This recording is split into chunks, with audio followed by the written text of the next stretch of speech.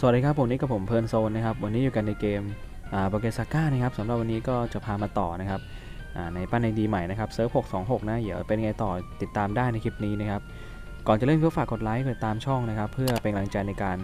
ทำคลิปต่อไปด้วยกันนะครับผมแล้วก็อ่าขอฝากช่องใหม่นะครับเพลิร์นโซนนะฮะเกมมิ่งกับเพลิร์นโซนยูไนเต็ดนะครับก็สองช่องด้วยกันนะก็ฝากไปกดติดตามให้กำลังใจกันเยอะๆด้วยกันนะครับผม แล้วก็สำหรับใครนะที่หาเกมเอาไม่เจอนะครับ สามารถไปเล่นที่ playlist นะใต้คลิปนะแล้วก็ playlist ในส่วนของท้ายคลิปก็มีนะครับ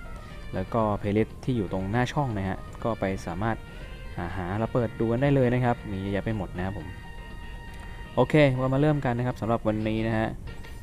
เหมือนมันจะมีกิจกรรมคงค้างอยู่นะ เดี๋ยวเรามาดูกันหน่อยหนึงนะฮะเดี๋ยวไปที่ร้านค้าก่อนเลยนะอันดับแรกนะครับ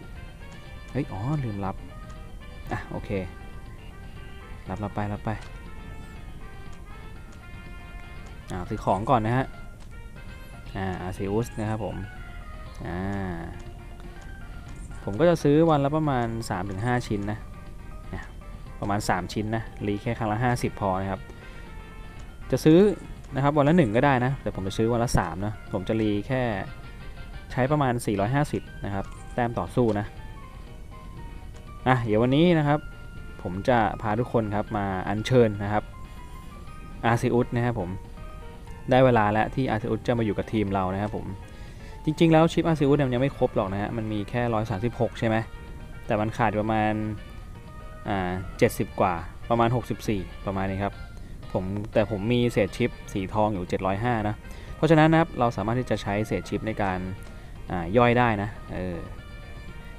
10 เศษชิปนะครับ ท่ากับ 1 เศษชิปของโปเกมอนนะ ผมขาด 64 เท่ากับว่าผมขาด 640 ชิ้นนะครับ เพราะฉะนั้นผมมี 708 อย่างเงี้ย ผมก็สามารถที่จะอัญเชิญอาซุดออกมาได้เลยนะครับ ประเด็นคือตอนนี้มันมีกิจกรรมนะครับแผ่นธาตุด้วยนะฮะ ก็เลยนะครับจะอัญเชิญอาซุดมาเลยนะครับผม ส่วนตัวอื่นก็ต้องรอต่อคิวกันไปก่อนนะ ก็มีหลายตัวเหมือนกัน ก็เลือกเลือกดูแล้วกันนะนี่ประมาณนี้นะ ถ้าเกิดเรามีชิปของตัวโปเกมอนเทพนะเราก็กดอัญเชิญตรงนี้ได้เลยนะครับ คิดว่าทุกคนน่าจะทำกันเป็นนะครับ ไม่น่ายากเนาะแต่ว่าวันนี้ครับเราจะมารับอาซิอุสกันนะครับโอ้โห แล้วประเด็นครับ ตอนนี้นิสัยดีด้วยนะฮะ นิสัยโบราณนะ อาซิอุสเป็นโปเกมอนโจมตีพิเศษนะครับ เป็นนิสัยโบราณดีที่สุดเลยนะครับ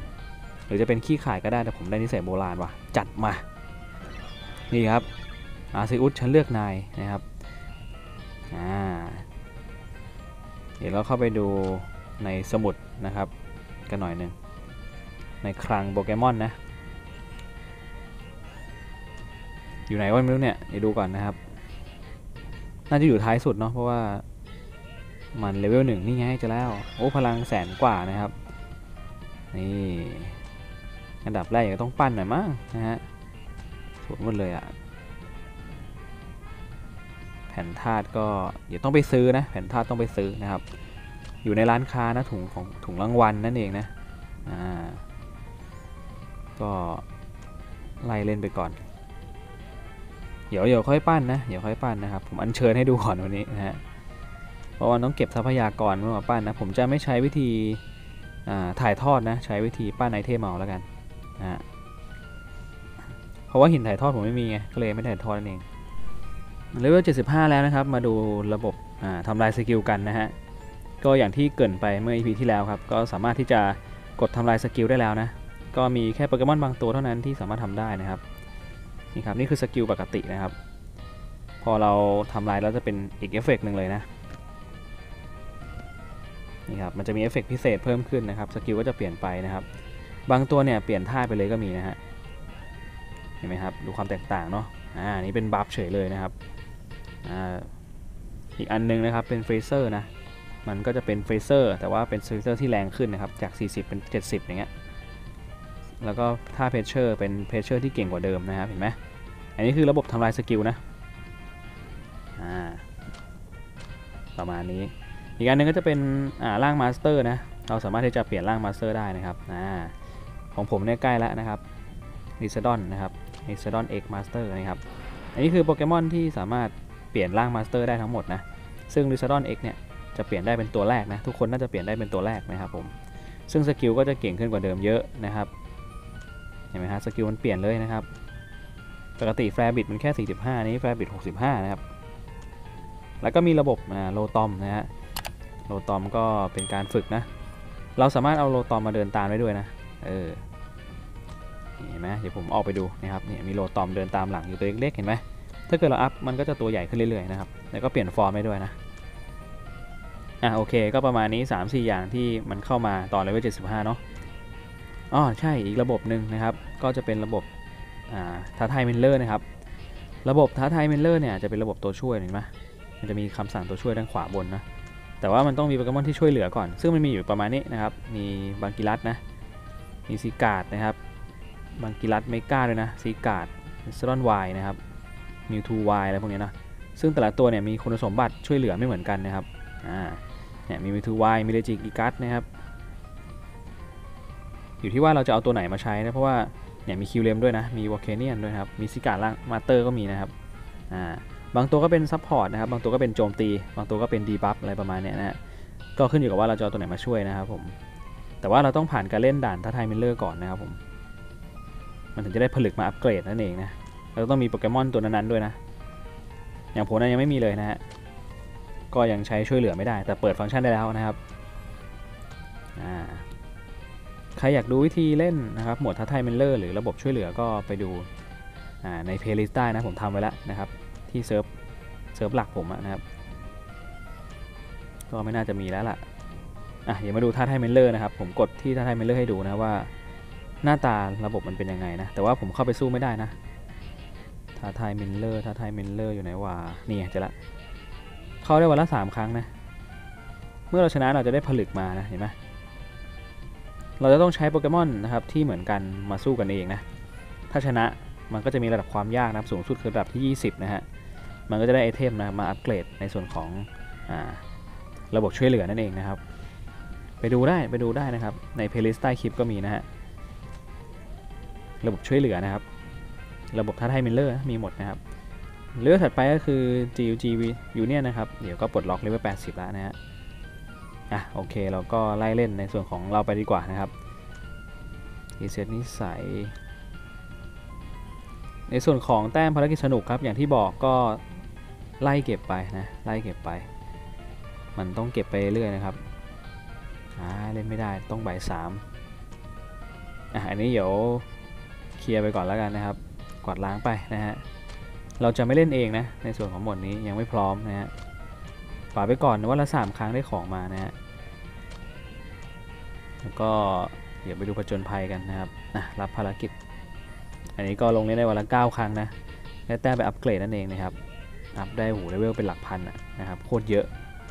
ส่งไปเลยนะครับมีเยอะส่งเยอะมีน้อยส่งน้อยนะอ่าปลดล็อกไปเรื่อยนะ อันไหนเข้าได้ก็เข้าให้หมดแหละนะครับ ยิมอ่าโอเค ยิมเนี่ยเหมือนจะติดค้างอยู่ 2 ยิมนะเดี๋ยวค่อยว่ากันนะ เดี๋ยวอัปเกรดสักหน่อยแล้วค่อยมาสู้แล้วกันนะ เอาไปก่อน 7 ยิมครึ่งอะโอเค ก็มีหลายอย่างที่ยังไม่ได้เล่นนะอ่าลงดึกไปหน่อยนะ เราก็ไล่ทำไปนะครับ อต่อสู้ยังไม่ได้ลงการแข่งขันโปเกมอนยังไม่ได้ลงนะสตาร์ศัตรูนะครับ กดไปเลยอะไปกดไปชะตาศัตรูนะฮะจริงๆ อย่างที่ผมเล่นทุกครั้งแหละผมไม่ค่อยสนใจระบบนี้เท่าไหร่ เราจะกดข้ามก็ได้หรือไม่ข้ามก็ได้นะฮะจะกดยอมแพ้ก็ได้นะครับ แล้วแต่ผมบางทีผมเสียเวลาผมก็กดยอมแพ้นะฮะมันแค่ได้ของครึ่งเดียวนะไม่ต้องซีเรียสมากโหมดนี้นะครับ มันเป็นการฟาร์มของส่วนใหญ่จะได้หินสายฟ้านะ แล้วก็การ์ดคุณสมบัตินะ item 2 หลักเนี่ย drop ตลอดทุกรอบนะ แต่เหมือนจะชนะว่ารอบเนี้ย จริงๆ มันเล่นได้แหละ คือมันไอ AI มันจะพยายามหานะครับเทรนเนอร์ที่มีพลังใกล้เคียงกับเรามาสู้นะเขาเรียกว่าผูกชะตากันนะฮะไอเทมที่ได้ก็อย่างที่บอกไปข้างต้นแหละนะครับ ถ้าสู้ไหวก็สู้นะ แพ้ก็ได้นะครับ แพ้ก็ได้ครึ่งหนึ่งนะแต่ว่าขอให้เข้ามาร่วมแล้วกันนะฮะ วันละห้าครั้งนะครับ อย่าอย่าข้ามนะ ถึงจะแพ้แต่ก็ได้ของรางวัลครึ่งหนึ่งก็ยังดีกว่าไม่เข้าร่วมนะ โอ้โห รู้สึกว่าอาซิอุสร่างแฟรี่เขาถึกมากเลย เดี๋ยวของเรายังไม่ได้ปั้นนะ เดี๋ยวรอแป๊บนะครับ แต่แฟรี่นี่มังกรตีไม่เข้านะอะเหลือลูเกียอีกตัวลูเกียนี่ก็ถึกใช้ย่อยนะฮะดูดิโดนดิครับยังไงเพื่อน เอ้าตีไม่โดนหรอ เฮ้ยโดนว่ะ ถ้าไอ้ลมหายใจมังกรโดนเว้ยเอ้ยโดนครับเรียบร้อยทีเดียวโอ้โหไม่ตายว่ะนี่ไงไม่รอดครับโอเค เสียเวลาไหมเนี่ยได้แค่สามใบเองนะฮะไม่ได้เยอะเลยนะครับ แพ้ได้ใบเดียวเห็นไหมแพ้ได้ใบเดียวมันเขียนอยู่ใบเดียวกับทองนะครับแค่นี้จบบางทีเราเล่นมันก็เสียเวลาใช่ปะล่ะอะชิดชิดชุดใหม่เว้ยอันนี้มี เซเลบีคลาเดโอแล้วก็อาซิอุสร่างต่อสู้นะอาซิอุสร่างต่อสู้ครับ ก็อธิบายไปแล้วเนาะว่าแผนท่าต่อสู้เนี่ยมันทำอะไรได้บ้างนะ ก็ทำคลิปแนะนำไปแล้วนะสำหรับการเลือกแผนท่าอาซิอุสมันมีอยู่ 5 แผนท่าแหละที่สามารถใช้เบื้องต้นได้ช่วงแรกเนี่ยโคตรจะดีนะครับ จริงๆมันใช้ได้ตลอดไปด้วยนะ 5 แผนท่าที่ผมอธิบายไปในคลิปก่อนหน้านี้คือ มันจะเป็น 5 แผนท่าที่เปรียบเสมือนตัวเปิดบัฟนะครับ ไม่ต้อง ก็จะมีธาตุไฟใช่ไหมไฟน้ำแข็งต่อสู้เหล็กนะครับ หินนะครับ ที่เจ๋งๆนะโอเคเดี๋ยวกดยอมแพ้ดิมันสู้ทั้งสามตาเนี่ยนะครับสคริปได้สองเอง ไปไปเดี๋ยวสคริปดีกว่านะฮะเสียเวลาเห็นไหมสคริปเราก็ได้ของแค่ครึ่งเดียวนะอะต่อมาไปดูในส่วนของ ด่านหอคอยกันบ้างดีกว่านะหอคอยเดี๋ยวรับของแป๊บหนึ่งนะครับอะลงหอต่อสู้นะครับ มันเขียนว่าหอต่อสู้นะ ก็ลงได้แค่ 5 แต้มเองถือว่าน้อยมากนะครับ เดี๋ยวรับ buff ก่อนนะอันดับแรกนะครับ ในการเล่นโหมดนี้ครับ มันคือ buff เลยนะฮะ ไม่มี buff นี่เล่นยากมากนะครับบอกแค่นี้ ถ้าคุณได้ buff ดีๆเนี่ยคือแบบโหโคตรโชคดีนะครับ buff ที่ดีที่สุดนะครับในการเล่นหอคอยคือ buff speed นะ อันนี้บอกก่อนเลยนะครับ ระหว่างพลังต่อสู้พลังป้องกันนะครับ กับเลือดกับสปีดเนี่ยผมแนะนำให้กดสปีดก่อนนะเออถ้าคุณโจมตีก่อนคุณจะได้เปรียบแค่นี้เองนะฮะถัดไปครับเรียบร้อยชิวๆเลยล้านสามกับแปดแสนเก้านะครับที่จริงพลังผมมาล้านสี่แล้วไม่ใช่เหรอวะอ๋อล้านสามล้านสามอ่าโอเคครับอ๋อเดี๋ยวก่อนนะ มันมีไรชูหรือเปล่าผมก็เลยพลังลดจริงๆผมต้องเป็นอ่าลูเกียป่ะเอออะเดี๋ยวมาลงในส่วนของตีคริสตัลกันบ้างไหมลงให้หมดเลยวันนี้นะฮะตีคริสตัลนี่คือได้เงินนะได้ทองนะครับผมทุบคริสตัลนะฮะทุบแค่ครั้งเดียวก็ปลดล็อกแล้วนะแต่จริงๆวันหนึ่งมันทุบได้ 2 รอบไงนะฮะอย่างตอนนี้ผมก็ทุบได้ประมาณสูงสุดก็ประมาณ 5 0 0แสนนะครับแต่โดยเฉลี่ยมันอยู่ที่ 3 0 0แสนกว่าทุกวันเลยนะฮะ คือผมไม่ได้เรียกไม่ได้เลือกธาตุที่เขาแนะนำไงเพราะว่าธาตุที่เขาแนะนำอะผมมันมีแต่ว่า damage มันต่ำไงมันเอามาเล่นมันก็ตีเบาอยู่ดีอะนะฮะ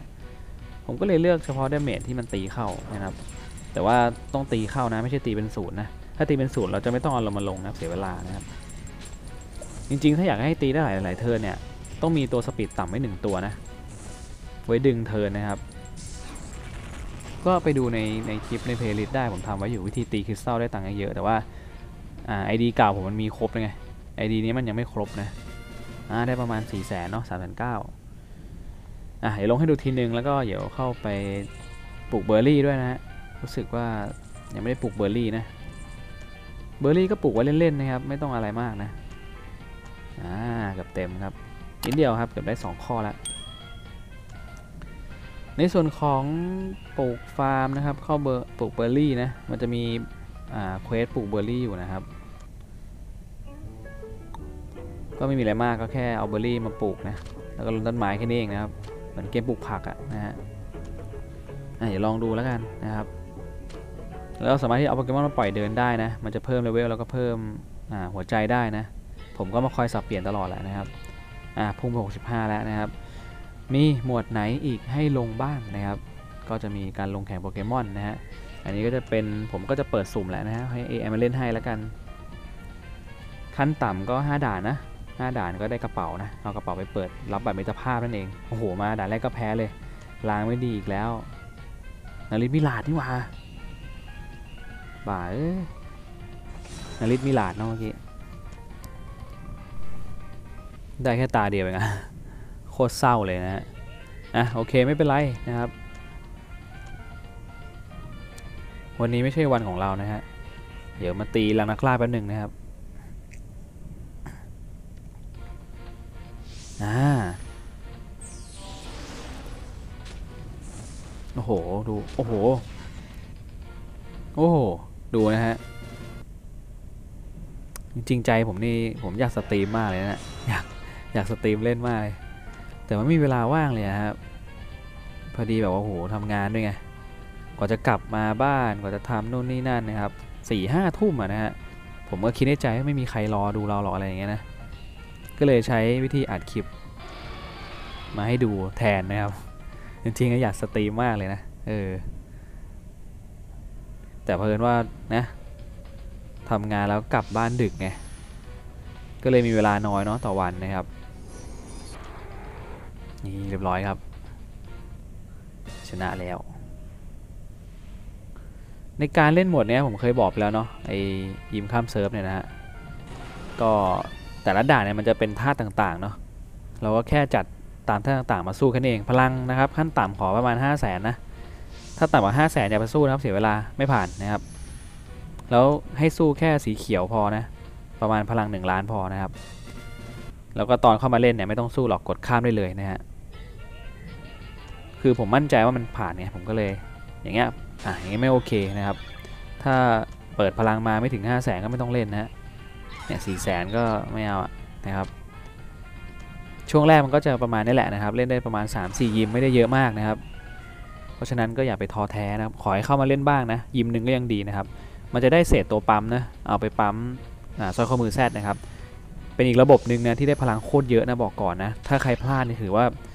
คือถ้าใครไม่ทำถือว่าพลาดง่ายๆเลยแล้วกันในส่วนของสร้อยข้อมือแซดเนาะเพราะว่ามันมีการล้างด้วยนะล้างสร้อยข้อมือด้วยนะโคตรเถื่อนเลย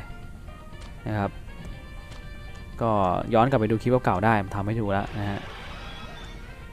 อ่าทีมเหล็กผมเถื่อนอยู่นะฮะ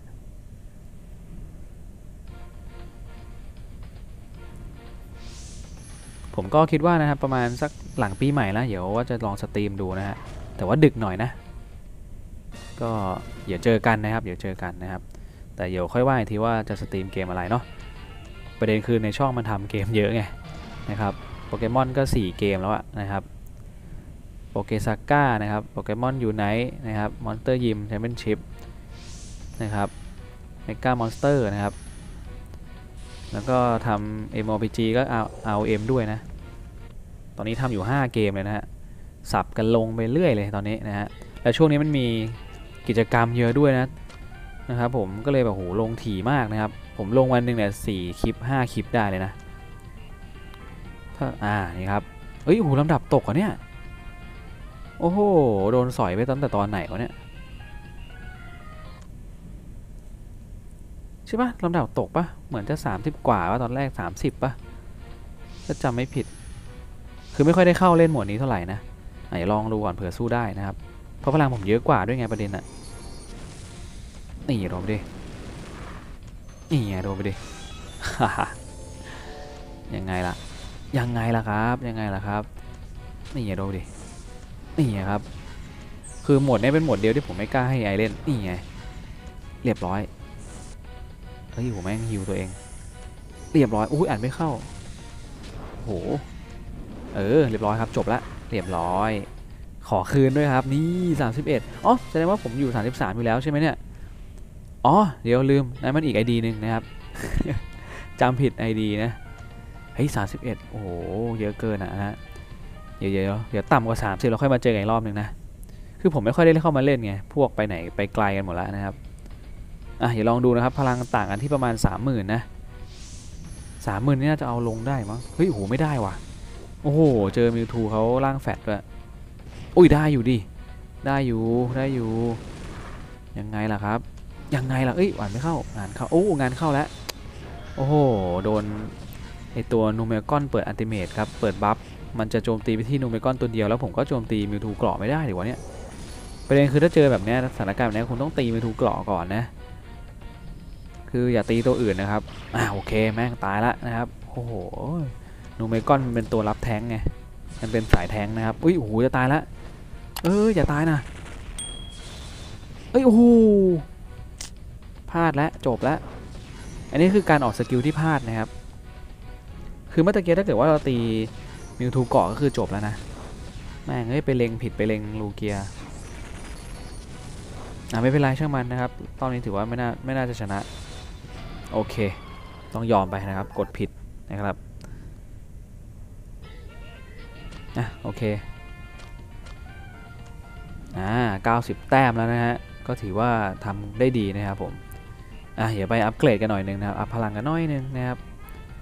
อัพพลังกันนิดนึง อย่างน้อยวันนี้เราก็อัญเชิญอาซูสมาแล้วนะครับ ตามที่ผมปรารถนานะ พอดีว่ามันมีกิจกรรมแผ่นธาตุไงนะ ก็เลยแบบว่า อัญเชิญมาสักหน่อยหนึงนะฮะอัญเชิญมานะครับ เอามาเล่นหน่อยนะครับ พลัง นี่อัพไปเลยครับเพื่อนไอ้หมดซะก่อนนะครับไม่เหลือสำหรับตรงตรานี่ก็อัพต่อไม่ได้แล้วนะอะอัพไปก่อน 60 35 50เรานี้เราล้างได้ 3 ยิมเนาะล้างได้ 3 ยิมนะครับเดี๋ยวกลับไปไล่อัพยิมข้างบนดีกว่ามั้งเพื่อที่จะได้อัพเนาะอันนี้มันเป็นฟ้าม่วงอยู่นะ เนี่ยระบบล้างล้าง skill ยิมเนี่ยแบบโหถ้าเกิดคุณล้างได้สีทองนะพลังแม่งขึ้นเป็นแสนเลยนะฮะสังเกตได้เลยเลเวลพอๆกันทำไมคนอื่นเก่งกว่าครับไม่ต้องสืบเลยนะฮะหนึ่งเลยอาวุธอาวุธที่สวมใส่ครับทำให้พลังแตกต่างเนาะแล้วก็กล่อง blessing ที่ใส่นะครับ พลังก็ทำให้แตกต่างนะเอออันนี้ดูให้ดีเลยนะครับ เครื่องประดับที่ใส่นะครับ ถ้าเกิดใส่เป็นชุดนี่คือความแตกต่างนะครับ การล้าง skill นะครับ คือความแตกต่างเนาะการล้างสร้อยข้อมือ Z คือความแตกต่างนะเรื่องนี้คือผมบอกอเคล็ดลับในการอัพ skill นั้นเนี่ยเดี๋ยวเอาแต้มก่อนนะ แต้มแต้มแต้มอัพได้หนึ่งครั้งเอง โอเค ได้แค่นี้นะฮะ โอ้ยน้อยนิดจริง ๆ นะครับ อ่า นะครับ อัพ speed ก่อนเลย เอาไม่พออีก โอ้โห ดู บ้าบอ เก็บอัพสปีดดีกว่า เพราะว่า โห ATK 35เองอะโหแล้วใช้เปลืองมากนะครับ บอกแค่นี้โคตรเปลืองนะฮะอะอัพอะไรไม่ได้แล้วได้แค่นี้ เออ ในส่วนของดาวปัฒนาเนาะก็ยังอัพต่อจานที่ 4 ไม่ได้นะครับ ได้แค่อัปเกรดไปวันๆนะฮะ เดี๋ยวขอพรก่อนนะครับ ขอพรจากดวงดาวนะครับ โอ้โห ไม่ออกสีม่วงเลยนะฮะ ออกเต็มที่ก็สีฟ้านะฮะหมดได้แค่นี้นะครับทำอะไรไม่ได้เลยนะฮะไอเทมไม่เพียงพอนะครับอะโอเคผมก็ประมาณนี้ก่อนแล้วกันนะสำหรับคลิปในวันนี้ท่านชอบก็ฝากกดไลค์กดแชร์กด subscribe ด้วยมันโซนะครับ เพื่อเป็นกำลังใจกันแล้วก็อย่าลืมกดแจ้งเตือนคลิปใหม่ๆเพื่อใหม่คลิปหน้านะครับผมซีอูเกนสวัสดีครับ